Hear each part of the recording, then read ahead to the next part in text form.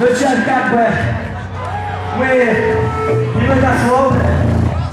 Так что мы сделали немножко неправильно.